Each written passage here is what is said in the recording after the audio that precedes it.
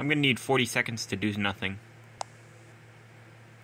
Y- you can't just do a time skip like that!